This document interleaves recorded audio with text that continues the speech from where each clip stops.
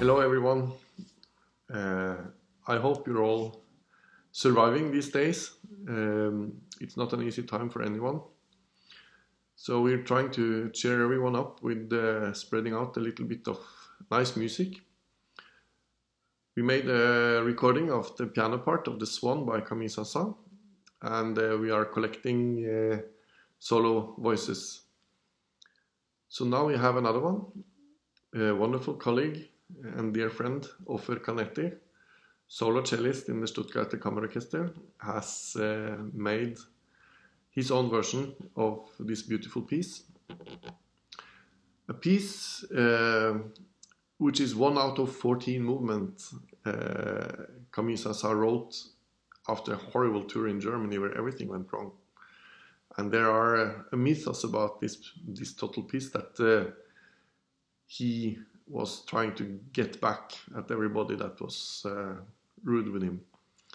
So uh, he said that this uh, entire suite should not be performed until after he died, with one exception, the beautiful movement, the swan.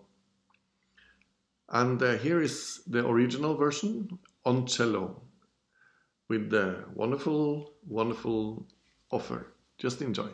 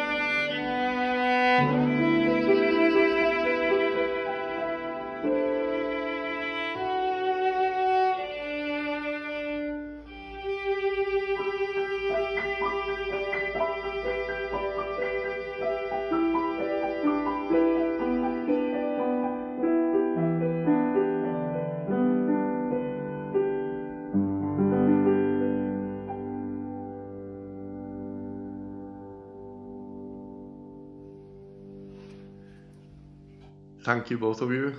Very beautiful. If you want to hear more of this, we have more versions coming in. Stay tuned with us and subscribe to our channel. We need all of you. So, until next time, stay healthy. Bye bye.